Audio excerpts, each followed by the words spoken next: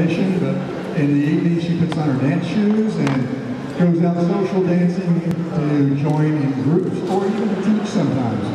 I think Logan has just recently got her certification as a, a junior associate dance instructor through Dance Mission, so congratulations.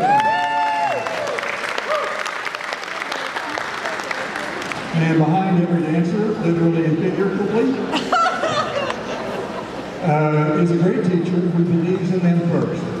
Joe's been dancing, I think, for more than 25 years, instructing others for more than 25 years. Uh, I still remember the first time I saw Joe in City Island. I didn't know he was an instructor, but uh, I knew he had a special talent. So, uh, uh, and he's been sharing that talent with us here in Central Florida, basically the Daytona area, for the past uh, 15 years or so, I think.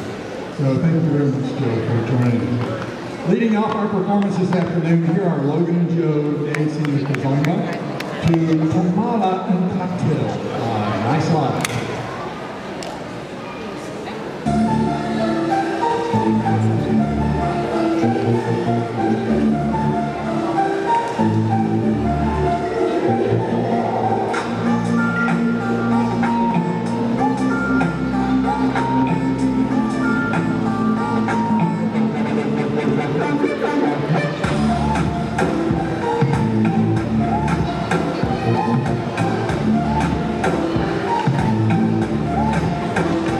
Deus.